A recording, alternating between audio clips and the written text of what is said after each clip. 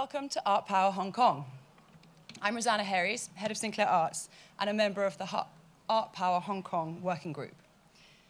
Thank you for joining us for the first of our series of talks. Before we start, allow me to give you a brief introduction to Art Power Hong Kong and our purpose. Art Power Hong Kong is a non-commercial and globally accessible online platform that highlights the vibrancy and diversity of the arts in Hong Kong. This collaborative campaign has grown organically from a community-wide desire to maintain momentum for the arts in Hong Kong in 2020. Uniting partners from across the arts ecosystem, Art Power Hong Kong showcases that the arts in Hong Kong are open, active, and resilient. The platform will be powered by strong content provided by partners, which include galleries, museums, auction houses, not-for-profit organizations, educational institutions, corporate sponsors of the arts, cultural media outlets, and the stakeholders who support our arts community. The campaign congregates and amplifies the many arts initiatives taking place across the city, supporting both art, art activations that are going ahead and utilizing tech innovations to allow all partners to take their initiatives to a wide online community. Art Power Hong Kong will showcase how conversations that engage and excite can happen online and offline. Art Power Hong Kong also acts as the catalyst and anchor for a new moment for the arts in Hong Kong in 2020. Launching today, the Art Power Hong Kong Talks program focuses on the arts community in Hong Kong and will feature spokespeople from partner organizations and the stakeholders that support them. From next week, the talks will take place weekly on Thursdays and be live streamed from the Art Power Hong Kong platform. You can also join the conversation on Instagram, Facebook, and LinkedIn, or sign up to updates from the platform. Thank you for supporting Art Power Hong Kong and the arts community in Hong Kong. I'm now delighted to introduce you to fellow, fellow working group member Elaine Kwok of Christie's, who will be moderating today's talk on the power of art. Great. Thank you, Rosanna. Good afternoon, everyone. Welcome to the Power of Art. Six weeks ago, when a group of us gathered following the announcement of Art Basel's cancellation, Art Basel Hong Kong's cancellation, we spent a fair bit of time trying to come up with a name for our group. We wanted something that conveys the strength, the confidence, and the vitality of the arts in Hong Kong. We want to present to everyone Hong Kong's position as one of the most important, the most exciting art capitals of the world. Art power encapsulates our intentions perfectly. Art has the power to stimulate, galvanize, unite, and create positive change during these challenging times. So for our online talks program, we thought what better way to kick off than with a discussion on the power of art. So I'm very pleased today to be sharing the stage with three members of the Art Power Working Group. First to my right is Katie de Tilly. She is one of the early contemporary gallerists in Hong Kong, founding 10 Chancery Lane Gallery in 2001. The gallery has since been developing the art scene in Asia Pacific and is a key driving force in contemporary arts culture in Hong Kong and Asia. She is also a founder of the Hong Kong Art Gallery Association and was president from 2015 to 2018. Next to Katie, we have Levina Li-Cadman. She is a co-founder of Art Partners, an independent art consultancy to conceptualize, develop, and realize art projects across Asia. Important projects include launching retail, entertainment, and art property development at H Queens, and managing large-scale public art events such as Event Horizon and Harbor Art Sculpture Park in Hong Kong. Next to Levina, we have Alice Mong, who is Executive Director of Asia Society Hong Kong Center, a position she has held since 2012. Prior to Asia Society, Alice has worked in New York as a director of the Museum of Chinese in America from 2009 to 2011. And she's also served as the executive director for the Committee of 100 in the United States, a Chinese American nonprofit membership organization founded by the architect ah I.M. Pei and by the cellist Yo-Yo Ma. So, to kick off our discussion, I would like to ask we often speak about the arts as being a source of soft power. How does a thriving art scene position Hong Kong in the coming decade? Who would like to start? Maybe Alice? Thank you. Thank you, Ling. Um, how does a thriving art scene position Hong Kong in the coming decades? Well, I would say um, soft power um, is more important than ever. Um, and I think um, just our, by location of Hong Kong, we're in the heart of um, Greater China and Asia. And um, I think if you look at institutions, uh, cities like New York and London, um, you know, the, the, the art sector is, has been around for, um, you know, for a long time, for over 100 years. I mean, you know, from industrial revolutions onward. And when you talk about these cities, art, you just, it's part of those cities' DNA. And unfortunately, it, for whatever reason, it hasn't been for Hong Kong or Asia, uh, if you, let's think about it. Um, I believe it was around 2000 was the first time, uh, when I was living in Hong Kong the first time, that I saw the exhibition Inside Out. And that was really a wonderful show. First time I saw the work of Xu Bing, uh, Cai Guo-Qiang, and, and Zhang Huan, some, and some of the wonderful um, artists from uh, Greater China, from Taiwan, as well as Hong Kong and Macau. I had never seen it before. This was 2000. And I remember it took place at the Museum of Art here in Hong Kong. And Asia Society, even though at that time we did not have a, a space uh, like we have today, um, we collaborated with Museum of Art to bring that show. Um, uh, and that was the first time, I believe, um, and I think Katie can maybe, uh, some of the artists that you've worked with have been in that show. I think the first time many of us have seen um, these artists um, uh, in in Hong Kong and Asia, and then they've gone on to this.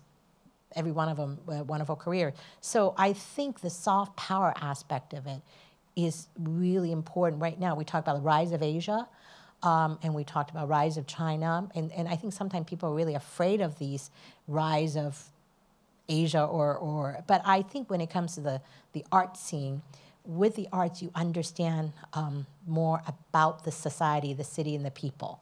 Um, it's, it, it doesn't require language, right? It requires just visually and sitting and standing in front of a piece, art piece, or seeing a performance art. So I think the soft power side of the rise of, of Asia and, and China or Greater China is really very important because I find that there's a lot of misunderstanding um, you know, just from um, just, you know, just yeah, misunderstanding uh, or, or not understanding Asia. And if you look at the, the founding of Asia Society uh, in 1956 by John D. Rockefeller III, he created Asia Society and Asia Society Museum. Uh, and his intentions was using the wonderful art that he collected uh, from Asia um, to tell, to educate uh, Americans about Asia. So that role of education um, is really, really important. And I don't see, you know, I think everybody now is, is jumping on it. So I think the thriving um, art scene in Hong Kong, and the, you know, your organization have been involved with uh, uh Hong Kong for 40, 50 years now in terms of uh, the auction. So I think right now what's really exciting is um, the, the, the entire ecosystem will help showcase um, um, Hong Kong, China, Asia in a in a balanced sort of way. That's great. Thank you, Alice. Levina? Um, I think that the thriving art scene and also the thriving art business in Hong Kong has given Hong Kong a really unique positioning in Asia Pacific.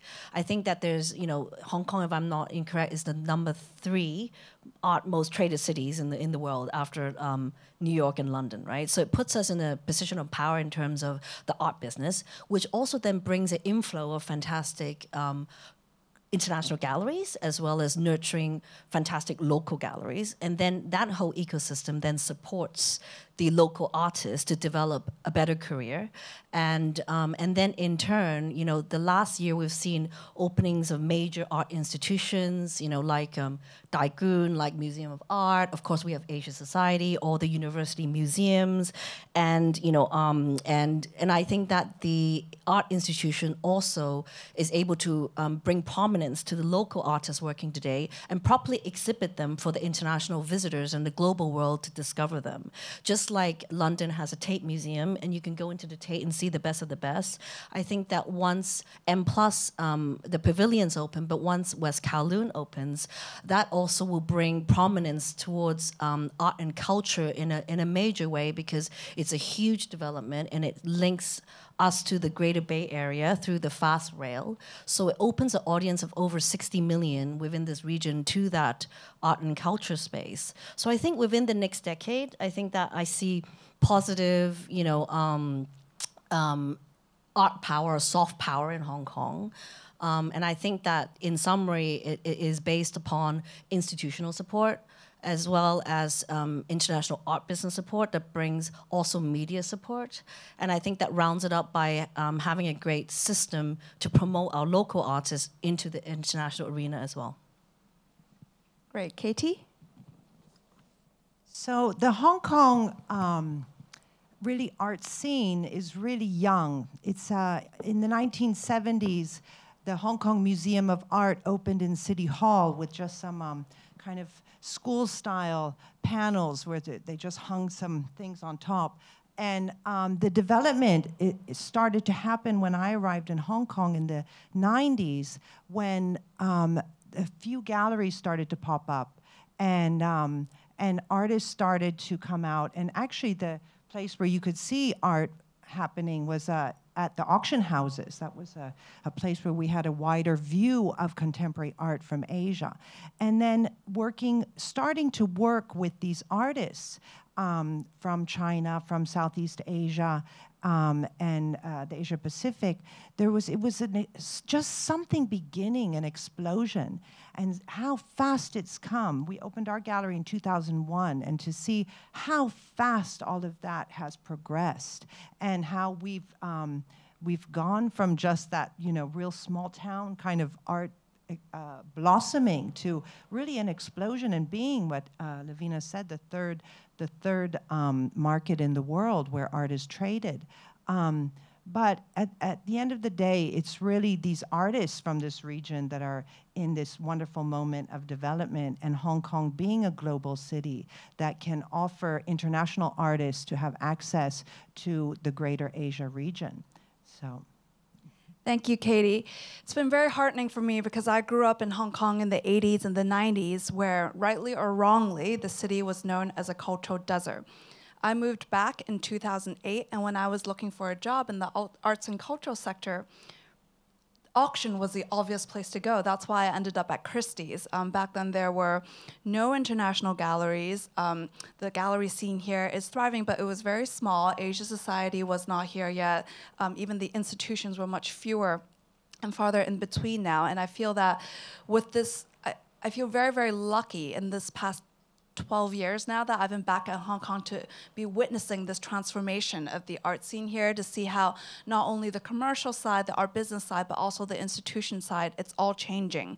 Um, I also feel that with this, um, we've attracted great international talent. I found it very interesting that working on Art Power, the people that I've been having conversations with, there are many that are from Hong Kong, but many also from other places who have found this a place to build their art careers. I think it also draws people to want to study here. A lot of people would want to study in Hong Kong because of the internship opportunities from living here um, and also the mentorship opportunities and participating in the art world. And also, uh, it, it has the power to drive tourism. People people then now want to come to experience the art scene in Hong Kong. Now, given the urgency of the coronavirus situation, um, how is art still relevant and how can it drive positive change? I'd love to hear you ladies speak about that. Should I start? Well, anyways, first of all, life goes on. And um, art is a, is a wonderful um, thing to to experience during uh, these difficult times. Um, I would say that, um, in fact, galleries are very safe places to go. They're not very crowded. so, welcome. And um, this, uh, this, this situation is part of life and it's, it's unprecedented. But as I said, eh, you know, we keep doing what we do and we, we hope to engage, whether through means of a digital platform, uh, more so at the moment, um, and we hope to really collaborate with them in innovative ways to be able to educate people in art and, and try to get as many people and maybe even more people involved with what's happening I- uh, culturally in Hong Kong.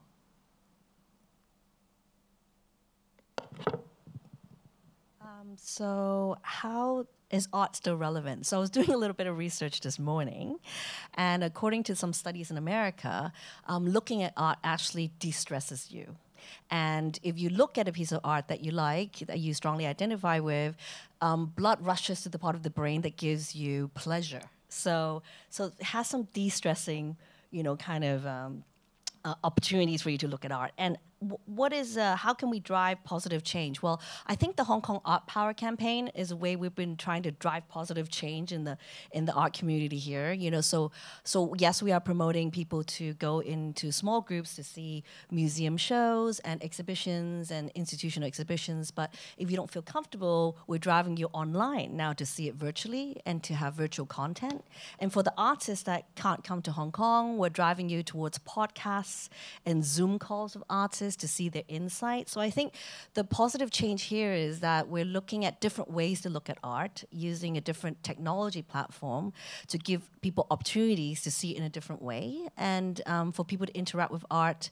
Um, even if you're not comfortable going out to a gallery, but you know, um, so there are different ways that we're driving positive change here. Thanks. Um, um, I have a, a more personal story um, in that art. I think um, is um, I think when we were kids, we were all artists, but somewhere along the way, we we stopped drawing. Um, we had a wonderful uh, story of a, a gentleman, Mr. Wong.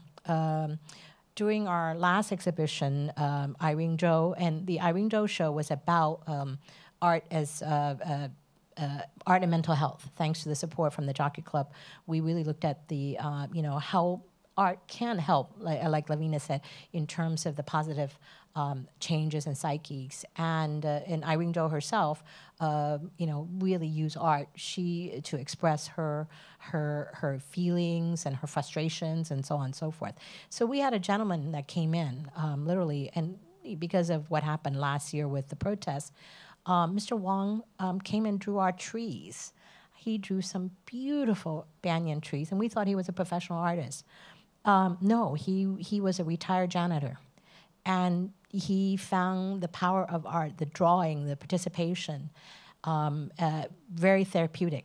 And so our colleagues saw him draw, drawing our banyan trees and asked him to take part in the uh, Irene Chou response show. And he did. And he won second prize. And he was so happy um, at the age of 83 uh, we discovered a new artist. And it turned out uh, when he was young, uh, Mr. Wong studied um, design um, in, in but couldn't get a career back then, design, and, and could have only done uh, maybe um, uh, manga, um, uh, the, the Japanese manga or, or a Chinese version of it. And th- back then, he's 83, there was no career for somebody like Mr. Wong, so he ended up being a janitor. And, but his love of art um, he had a stroke, and his wife encouraged him to to uh, go back to to uh, drawing. And if you see his work, I mean, I mean, I feel like we discover an artist uh, in Mr. Wong, and he was so excited when he came in and participated in the um, the, the exhibition opening for the Response show. And for me, that's a power of art, and that's a power of the positive power of art. Um, so not everyone is going to be the Picassos and, and, and then go, but in his case, um, it was just it, it, was so inspiring to see. So I think that's how how, how it is still relevant. Um, I think all of us um, uh, have potential either appreciate or participate. I, for me, is going to to see exhibitions, going to galleries, going to museum. Um, it, it is very much um, like you said. It's a very relaxing. Um, I miss it now that this last couple of months we have not had it, uh, but doesn't mean you can't get online. I've been watching a lot of uh, art documentaries and and uh, uh stories about artists. So I think that is really the enduring uh, enduring power of it. Thank you very much for sharing that. And I want to share a story. Um, during World War II, during the Blitz in England, uh, the National Gallery had to move their paintings away in storage so that it would be safe from the from the Blitz um, in order to safeguard all the treasures. But what they soon realized was the uh, the British they really missed looking at the paintings. They really wish, missed looking at the art. And so what the National Gallery did during the war was they would um, display one painting at a time, just one uh, so that just in case the National Gallery gets bombed, all the other treasures would be, would, would be kept. So they would rotate and show different pieces. And I wanted to share that story because that just goes to show even in face of war, how important art is for humanity nowadays we have sort of a, a, different kind of war. You know, it's the enemy is a virus, um, and it's the 21st century. Um, it's a different kind of war. We can't have big groups looking at a single painting, but what we have are digital tools for people to engage online, and that's very much what Art Power is about. Now, I want to speak a little bit more about your individual institutions. Um, Alice, the Asia Society is known as a leading platform for knowledge exchange in many fields, including business, foreign policy, and education. So, how does arts and culture fit into this conversation? Um, it fits very well into the conversation in that I think um, um, if you look at a hu- human being, we have a right side and left side of the brain, and uh, you know it's not just about uh, making money and going to work. We also have, um, I, you know, uh, going to the movies, going to theater. I mean, the appreciation of the arts. So for me, as an organization, um, Asia Society is that way. We have a right side and a left side. And when you said 2008, we were not here. Asia Society was here. In fact, uh, in 1990 was when Asia Society Hong Kong came into being here in Hong Kong. But on the arts and culture side, we did not really go into arts and culture full scale until we opened this site in 2012. And that now uh, about 70% of our programs are in the arts and cultural space. And, and before, when our programming was mostly in business and policy, it was very much uh, business people, our luncheon programs. But now having this arts and cultural space, we have a gallery and we have programs, uh, we now can draw, um, uh, we have family membership, individual membership. So right now our, our audience is more diverse. And so this is a beauty of, of um, you know, having this um, arts and culture as part of this institution that also has the business, uh, business policy and education. So it fits really dovetail, I think, again, um, very nicely to what Asia Society's mission is. It's about bridging, and arts and culture is a wonderful way to uh, bridge understanding of each other. So the power of art in terms of cross-cultural communication. Correct. Great. Um, Levina, could you tell us more about public art projects? Um, what exactly are they? Why should we do them? And what's their impact? Um, so I think what what we're seeing in Hong Kong is that um, we would love to do more projects just in the open. So we're trying to get people to just encounter art in their daily life without even having to walk in a gallery or a museum or you know an exhibition space. So the way we do it is we put art in very public places. So one of the projects that we worked on. Um, two years ago was the Harbor Art Sculpture Park. So where we had uh, 22 sculptures across Tamar Park, uh, in front of the Academy of Performing Arts, in front of Hong Kong Arts Center, and um, and in front of City Hall. And so people were just going around their daily lives, and suddenly they encountered these fantastic sculptures. And so we had 949,000 people that came through the sculpture park. It's free to the public. So it's about um, a million, 949,000. Yeah, 949,000 wow. within the yeah two month period. And it was great because the way we see it is a museum without walls, you know, and it makes people closer to their uh, civic spaces. And makes uh, the art makes this humanizes the, the different public areas for us. And it was a great opportunity to also do a bit of um, educational outreach. So we worked with Hong Kong Art Center and we created a um, teaching program within all of the um, primary, tertiary, university schools within the Hong Kong Education Bureau. And it was about how to appreciate um, art and, um, and learn about public art. And then we took, uh, we had 96 free tours that you can sign up for every weekend um, to come see the, the um, the sculpture park led by um, a curator, and it was great as well. Even if you don't know anything about the art, we had an app that you can download for free, and there was uh, it was in Cantonese, uh, Mandarin, and English. So all you have to do is point at the sculpture and press the button, and then the app will tell you about the artwork, um, or you can just enjoy it um, yourself. So I think what and also when we do these projects, I think um, what we're trying to get behind it is also to grow um, the knowledge of the local artists. So we had 25% of the artists was from Hong Kong supported by the uh, uh, the Art Development Council, and the rest were international artists. So there was a, also an artist exchange, and uh, one of the great stories that came out of it was that one of the Hong Kong artists has never done large scale sculptures, and his, um, his studio doesn't allow it. So he created a gigantic tent in New Territories outside his studio to create this large sculpture. And although the sculpture was disintegrating throughout the the, the sculpture part. It was part of the learning experience. And then he was able to talk to some other international artists like Antony Gormley, Michael Craig Martin, that did large scale sculptures. And, and there was a dialogue about how he can maybe learn from them to do it better. So I think within the public art, what's important is that people feel don't feel intimidated. They don't have to go to an art fair or a gallery or a museum. They can just walk by their daily life to a park and, and be able to see art in a very natural environment. So I think that's why it's, it's great for us to do more public art um, so more people can encounter art and be more comfortable with it and grow an interest, I guess, in art in that, in that way. Um, and I think that the impact was great because we saw all walks of life in the park every day, and um, people did ask us if we are going to do another installment of this, and we hope to be able to do it very soon. Sounds incredibly powerful and impactful. Um, Katie, could you speak a little bit about the power of an art dealer? Um, what's your power in shaping an artist's career and in shaping taste? Um, well, okay, so a gallery is really the first place where an artist shows. So, I mean, outside of uh, the school environment.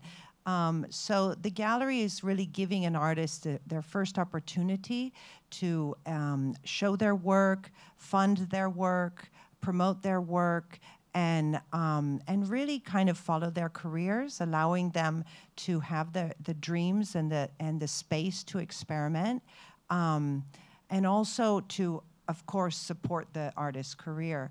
Um, uh, galleries are very passionate people who have a very close relationship with artists. So, um, you know, it, that's actually the best part of it to really follow through long term um, relationships with these artists and, and how their careers develop. Um, you know, now uh, the, the, when the YBAs, the, the Young British Artists, were, were first showing, they were not part of the establishment, and, and now they are, right? So um, that's, that's kind of the, how the galleries um, are the first step in an artist's career.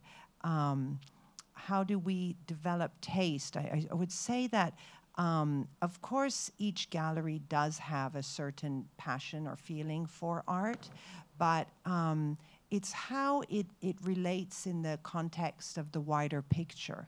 Um, art is a mirror of our society. It's, it's showing our collective consciousness. And so it's like a mirror, and um, what we are all feeling, sort of the artists are bringing it out. Um, a, this is a very important time for artists across the board as well, and and what's going to come out from from this this current situation is going to be very interesting for the future. Um, uh, developing taste. I think we're in a post-taste world as well. I mean, you have artists, um, you know, um, uh, you know, really touching on all aspects of our society, and some sometimes it's not very pretty. Um, so, what what does that mean by taste? But I think that art has a very important role to play on um, on who we are as a as a as a humanity and um, what is happening. And they have that ability to show us that, and um, sometimes not in an easy way. Um, and so, you know, the galleries are there to support that path and to kind of see those those things happening and be able to offer it to the wider public. And then what happens next and how they work in the context of art history is to be seen. Some have critiqued the art world as being elitist. It's great for all of us to sit here in the Asia Society and speak about the power of art. Um, but what can we say more about the impact on the rest of the community? And by community, I don't mean the community of business people around Central at Admiralty. I'm speaking more about kind of more grassroots in Hong Kong. On that community level, what is the impact of the arts? Well, I think the impact of the arts um, is is uh, quite profound, and, and, going back to my story about Mr. Wong, but all of us, um, you know, we right now uh, being having this facility, um, it's not just about the art fair and our exhibition. One of the things that I think we do really well, and I'm really excited um, that we're always exploring, is really workshops for the community and and of course the kids love it. Um, I just wish uh, in this time uh, that we could do more workshops. Not possible, but we can still do workshop online.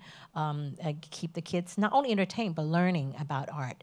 Um, so the art is. I mean, I, I often I think some of you heard the story of how I um, was introduced to the world of art when I was a kid in Taiwan.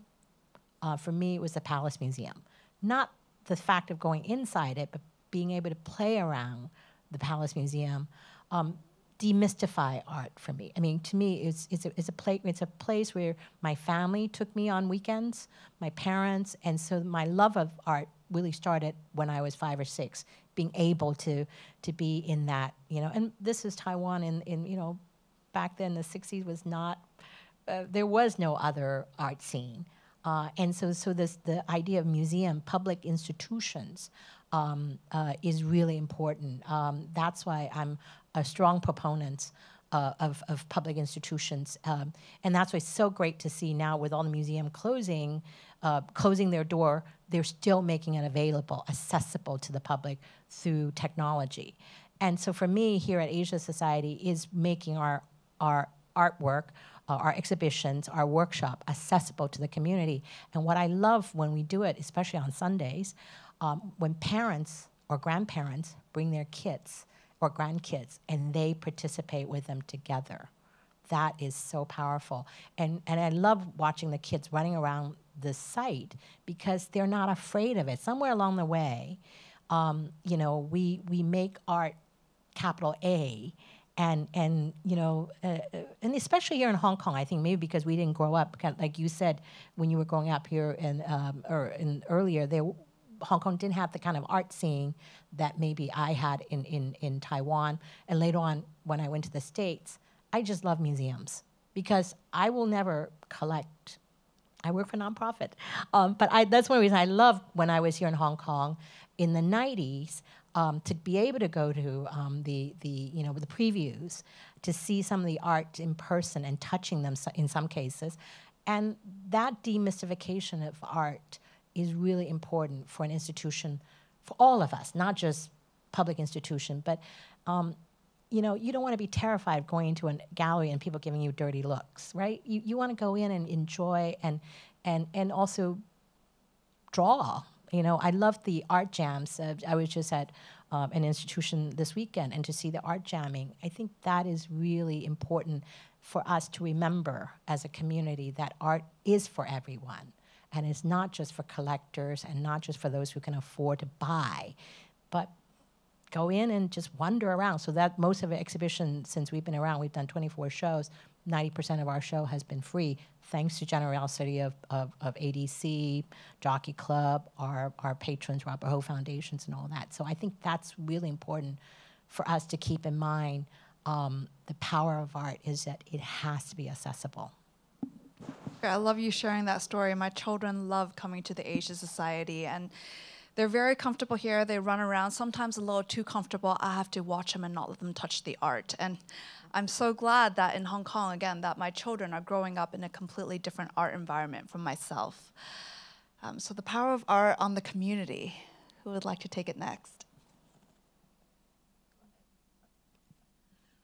I'm quite lucky because a, a, a, lot of the projects, what I do, involves bringing art to the community. Whether we're setting up a public art installation in a shopping mall, so you can just walk past, be shopping, going to the supermarket, and then you can encounter some great public art. So I think it is important to bring art to the community, and it's great that we have facilities like Asia Society, the sculpture park on the rooftop that's coming. It's gonna be great. You know, I think that I think that more and more, once you bring the art out to the public, um, then I think it demystifies it. And I think the more we can put it everywhere, I mean, that'd be great if we have more space in all of our buildings, our lobbies of buildings, hotels. So I think I think that's a good way to to make it art for all.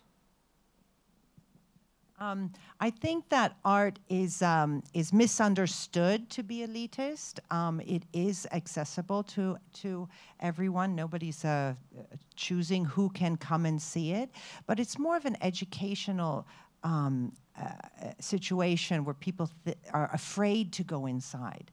They don't know that they can go inside. So we had done a project in the wet market where we showed art videos from some of the world's famous um, uh, video artists, and we put them in like uh, um, in, in the butcher shop chopping the meat and we had these interjections. And it was really interesting to see the just the local community interacting with these these artists and how you know and i think that is a goal that's a continued goal. Um, art is is bringing together the intellect with the soul. It's the fabric of the soul and bringing that forth to the wider community. So you know we feel art right? We feel music we feel opera we feel dance we feel a painting. And um, it's it's should not be thought of as elitist. And these kind of campaigns are are really the goal to make it more accessible and more inviting to the general public that's great. Thank you very much, Katie. We have about 20 minutes left, and I just want to open to the floor for questions. Rosanna, can people submit questions online? They could go through Facebook, apparently. Are there any questions from the audience or online?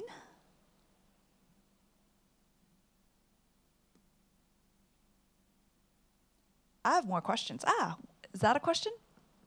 No. I'm an auctioneer as well. You know, that's everyone's biggest fear when you're just playing with your hair and being, yeah, people thinking it's a it's a it's a bid. Anyhow, okay. If, if no questions for now, I can go back to my um, my list. Um, the recent outbreak of the virus has pushed people to embrace digital tools and other emerging technologies in a way of promoting artists and engaging with uh, audiences.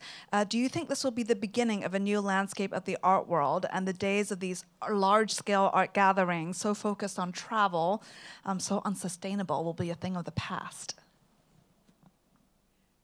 Um, I don't think so because, in fact, I think people will still want to see, and I think it's up to some of these these um, uh, fairs or these events to make it uh, continually accessible, whether it's online, um, not just during that art week, right? So, so I think it's um, you can't replace life experiences, um, and but right now, one of the things um, is also demographics. I mean, young people are going to consume art differently.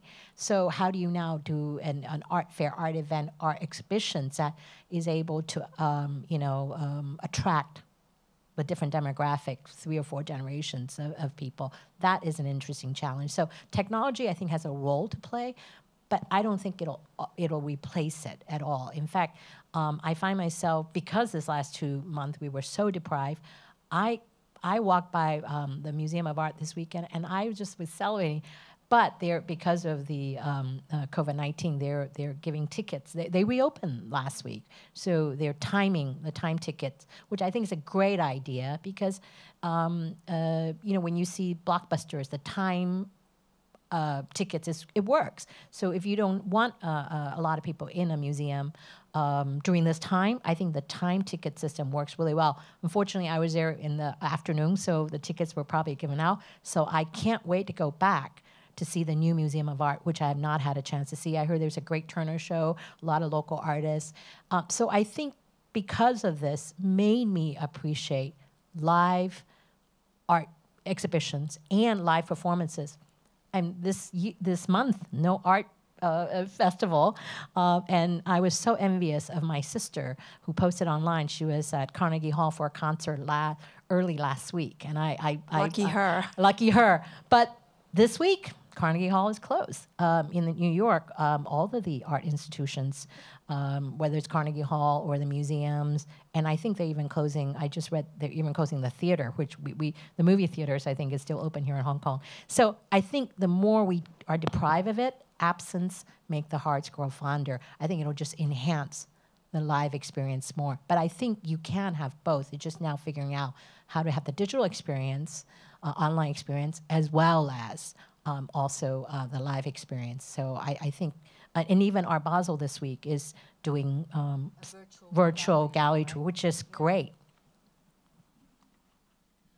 Um, I don't think that the virtual um, digital experience can really replace the actual live viewing and experience. Um, but I do think that new technology may come out, and I do think there's a big integration of digital and virtual technology even in um, museums and institutions now, right? So I think there's going to be a convergence of the two, and I think that convergence is going to enhance our experience. But I don't think that it will replace it completely. Uh, last week I was in New York, and luckily the MoMA was still open. and I stood for a very long time in front of Van Gogh's Starry Night, and I saw it like I never saw it before.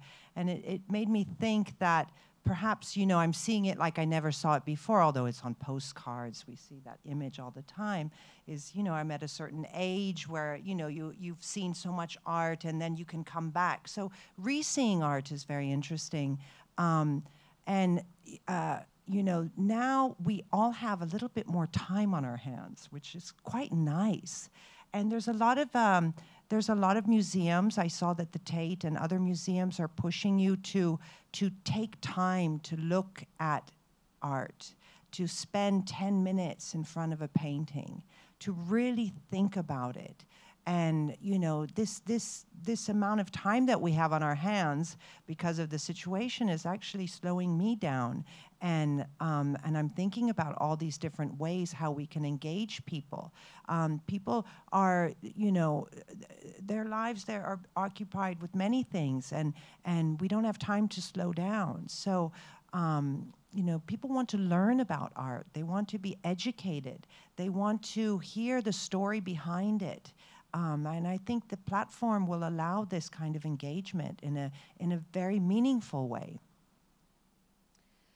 So I think the conclusion, which I do agree with, is that nothing replaces experiencing an original work of art. Um, but also, what remains is that sustainability is an issue with the art world, and um, there are many new digital strategies that we can approach in the art world. Now, if you're interested in learning more about these, these are going to be the, some of the topics that we will explore in our online talks program at Art Power over the next few weeks. Now, before I move on to my last question, I just want to see if there's a question in the room. Yes? Do you want to? Oh, we have a question online. We're waiting for the mic. Uh, the question is, the, the question is, will there be any art projects to promote art education in Hong Kong's schools? Will there be any art projects to promote education in Hong Kong schools? I mean, in place already, we have a lot. I know the Friends of Hong Kong Museum of Art every year does a summer arts cadets program that uh, brings in local Hong Kong students. Um, uh, to the Hong Kong Museum of Art. I know M Plus and the Museum of, of, Art also both have had buses. That's part of their outreach programs. These are buses with uh, works of art and art educator in them that go and visit the different schools uh, in order to further arts education. Uh, for people who want to look for art on a different level, Christie's Education offers courses, um, in-person courses, and also online. It's a great time now to go and check out some of Christie's Education online courses if you have extra time at home. Well, for us, um, every time we have an exhibition, we uh, go and bring the students in. If they just have to apply to our our gallery team and our art education team, and we actually um, welcome the students. They come for free, and we uh, in for educational um, uh, for schools, we bus them. We we really want to bring them in, and that was thanks to our very first exhibition um, uh, when we opened 2012, and it was a grant given to us by the Robert Ho Foundation then. And now we've learned from that experience is like sometimes you have to go and bring them in, and and docent guided tour. Another area that we're also exploring is um, how to get the kids.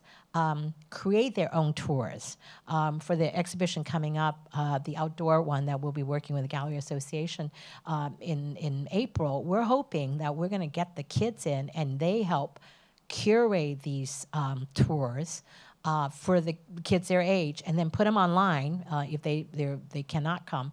But really getting the kids, the students. Um, actively involved um, that we're doing on our well, on, you know working uh, with our own team and collaborators.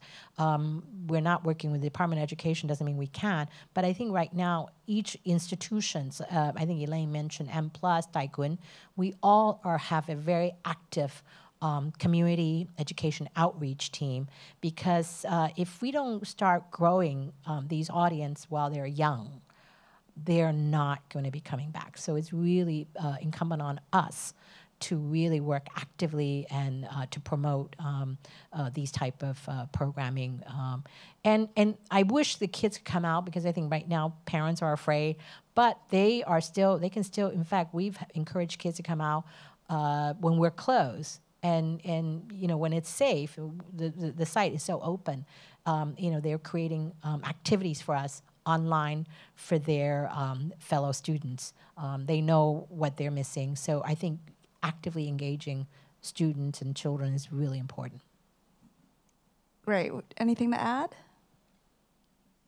Um, I, I, just wanted to say is that we're coming to the end of the school year, um, and the the uh, art schools, uh, the university art programs are, are, going to be having their graduation shows, and they are being invited to be part of this campaign as well. So that will be, you know, for the young future artists of Hong Kong. All of that is going to be happening in May and June. It's fantastic. Kiri, I think there's another question online. Yes, there's a question here from Facebook. Is online viewing rooms a temporary solution or a future trend? Um, it can definitely engage a, a wide audience um, globally, right? People who are, don't have the ability to travel. Um, we are all uh, trying to engage on those online platforms, but really a lot happens from personal relationship. The way I look at it is um, online experiences, they enhance in-person experiences as we've all discussed, nothing replaces the experience of looking at original work of art, but people find different ways to engage, and also uh, different demographics engage with art differently. We are seeing uh, the younger generation uh, being more open to the online way of engaging with the arts. Yes, question in the room. Um, this is just like a question regarding to trends. So, um, will this digital platform transition of the world um, kind of would accept and push forward um, virtual art and kind of shape a new generation of art? Um, not also right now you can buy virtual calls. I, I don't know if everybody knows. Um, you can actually buy calls from Apple and kind of look at it from your phone and kind of um, if galleries or in institution will kind of push forward this movement, and or if you know like um, the art world will be more acceptable of online commercial artists. Well, I think, you know, it, art is very innovative, so the sky's the limit. So we can't um, always anticipate, but it is always surprising and fresh what keeps coming out, whether it's in art and music and fashion. So I think this, uh, the digital platform is, a, is an artistic medium that can be furthered. Yes, I agree. Art has always been about pushing boundaries, so watch the space and let's see what happens. Oh, one more question in the back.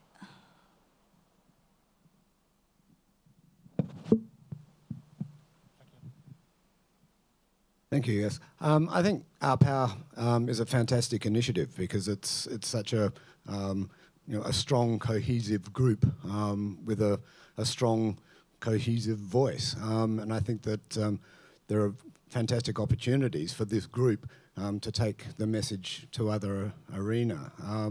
One, which might touch on the idea of, of bringing public art um, to where the people are rather than necessarily to a sculpture park um, at the waterfront or a single um, shopping mall somewhere, um, but to where people are, are, living and working or transiting between um, um, home and work.